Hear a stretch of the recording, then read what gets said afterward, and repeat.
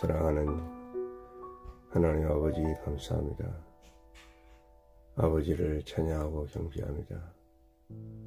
아버지 주님의 놀라운 은혜와 생명을 주여 분배하여 주소서 예수 그리스도의 보혈과 주여 예수 그리스도의 구속으로 말미암아 주 예수님 하나님의 주여 사랑과 은혜를 주여 공부하여 주심을 감사합니다. 어, 주 예수님 성령님으로 인하여 주여 주님 자신을 온전히 이 아침에 분별받고 누릴 수 있기를 원합니다. 주여 주님 내게 능력 주신 자 안에서 내가 모든 것을 할 수 있다고 하신 주님 주여 오직 주님의 생명의 공급으로 말미암아 주여 제가 주님을 누리고 주여 주님을 찬양하고 경배할 수 있음을 인하여 감사합니다. 감사하며 주 예수 이름으로 기도드립니다. 아멘. 고린도전서 1장 9절 말씀 여러분은 그분을 통하여 그분의 아들 우리 주 예수 그리스도의 교통 안으로 부름받았습니다. 아멘.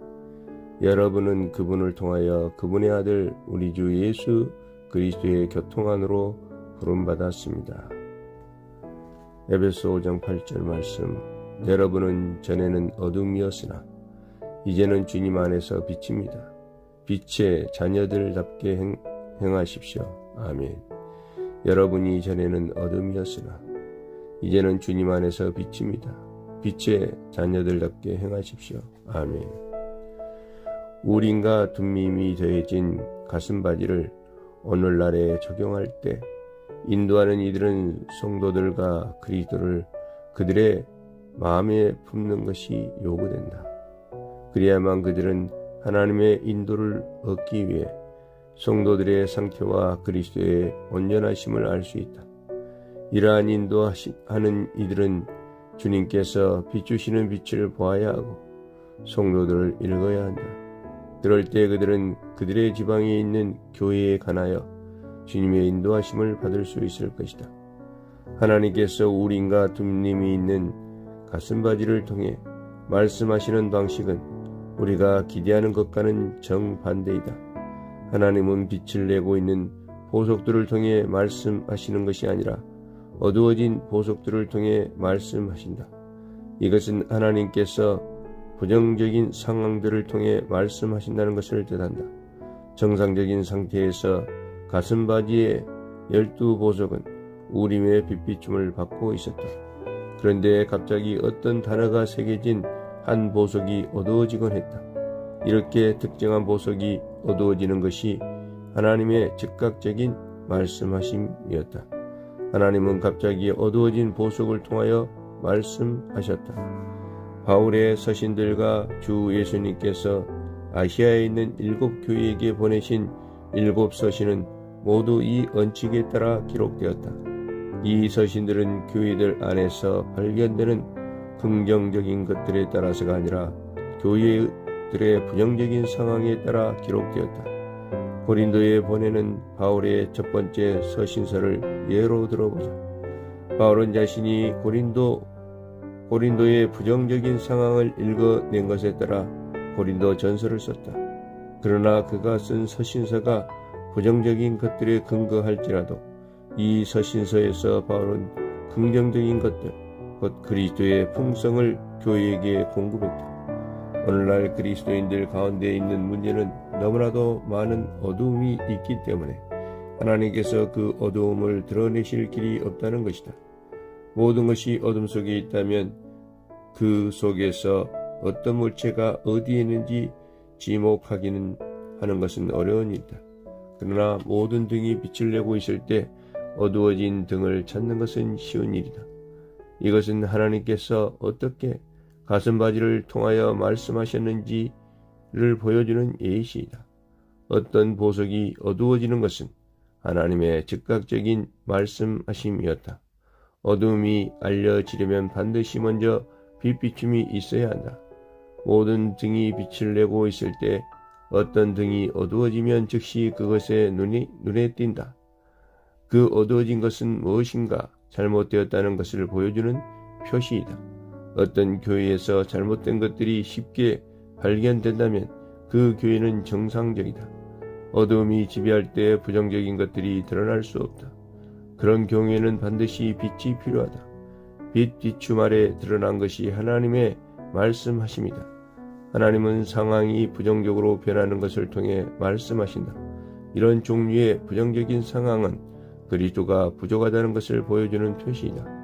이런 식으로 부정적인 상황들을 읽어냄으로써 우리는 하나님의 인도를 알게 된다. 그럴 때 우리의 지방에서 우리는 하나님께서 우리가 무엇을 하기 원하시는지를 알게 될 것이고, 그런 다음 우리는 그분의 인도를 따라야 한다. 가슴바지를 통해 주어지는 인도는 항상 판결을 포함했다. 주님께서 말씀하시는 것이 부정적인 상황들을 통해 비롯되기 때문에 그 말씀하심은 곧 판결이다. 바울이 받은 빛비춤 아래서 어둠이 드러났다.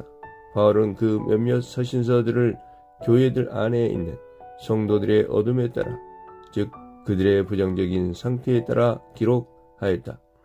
바울은 고린도에 있는 교회에 존재했던 어떤 어두운 부분들, 곧 하나님의 판결을 보여주는 글자가 되는 부분들을 보았기 때문에 판결의 책인 고린도 후서를 쓸 수 있었다.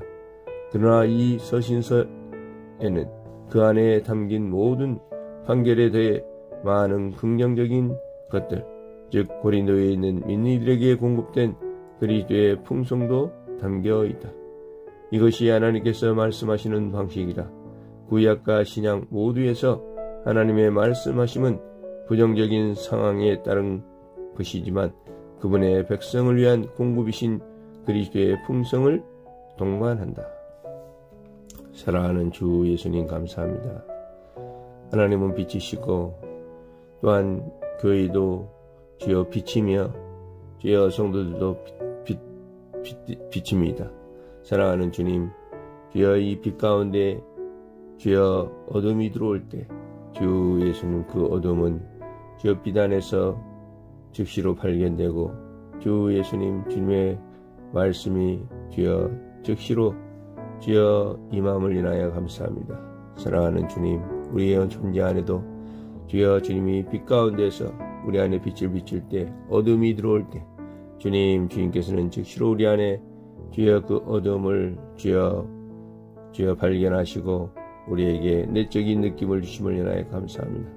주여 어둠이 있을 때 주여 즉시 주님 앞에 주여 그러한 모든 어둠들을 회개하고 자백하며 그러한 어둠들을 내쫓고 주 예수님 빛으로 충만해질 수 있게 원합니다.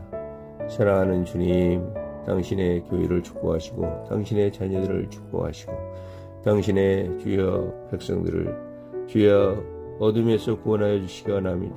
사랑하는 주 예수님 주여 모든 어둠 보혈로 씻어주시고 생명으로 주여 씻어주시고 모든 어둠이 주여 우리 존재 안에서 다 쫓겨나가도록 예수 그리스도의 빛들로 주여 발광 제대로 빛나게 하소서 주여 오늘도 주님의 신성한 생명의 빛으로 신성한 생명의 은혜로 주여 공급하시고 붙들어 주심을 인하여 감사합니다.